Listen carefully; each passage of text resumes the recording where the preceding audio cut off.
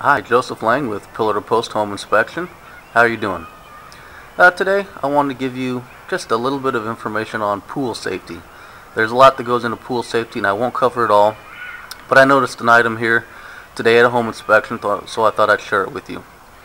Uh, one pool safety item is the gates that are leading to the pool. A gate leading to the pool uh, has to open away from the pool. The reason the gate has to open away from the pool is that small kids tend to push on items instead of pull them. So therefore, if the gate opens towards the pool, when they push on them, it's going to push the gate open. And here's an example of that. So over here, you have the gate and you have the pool. And right now, if I push on this gate and it's not latched properly, as you can see, it opens towards the pool and the child has full access to the pool.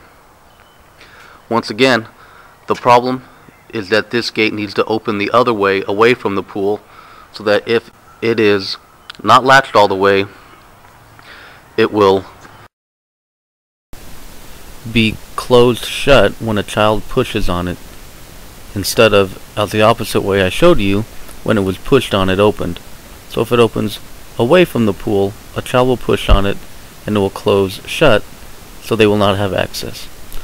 And another safety item is that it should self-close and latch so that if you leave the pool area and you forget to latch it, the gate will shut by itself and latch.